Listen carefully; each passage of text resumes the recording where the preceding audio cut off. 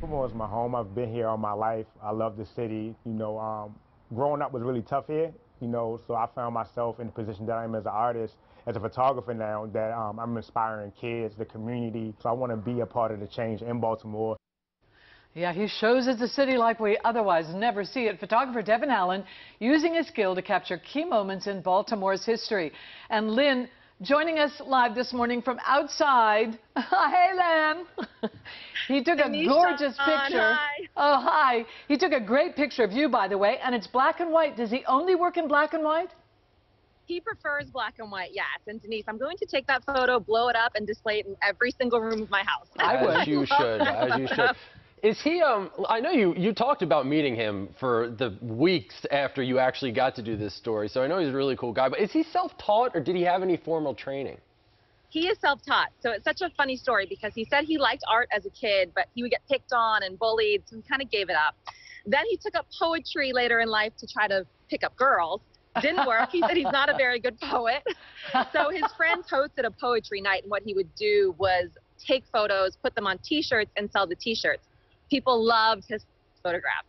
He fell in love with photographing people. He says he loves that human connection. He loves that moment with the subject. He's taking their photo where they change a little bit.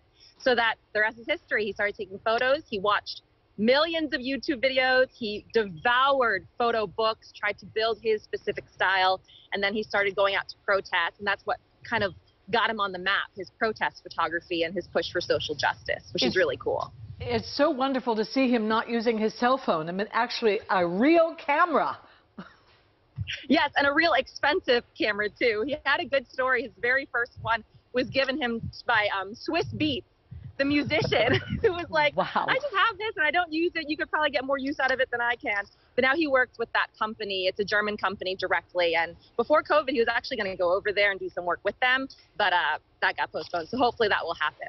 And his new book that's coming out later this year, um, it is a collection of short essays, photographs, poetry. He writes some of it. Some other people, artists he's met, write some of it as well. And he says he's hoping to do a book tour for it. He's really excited about that. That would be his first book tour. So looking forward to that book. No, um, social justice uh, from Black Lives from the Civil Rights Movement to Black Lives Matter.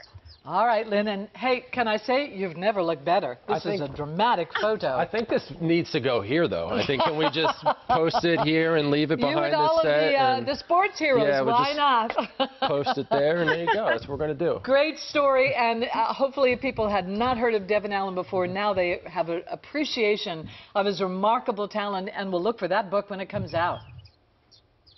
Absolutely. Thank you, Linh. Can't wait to see you in Thanks, person. guys. Thanks. Sometime soon. All right, Devin Allen, remarkable talent.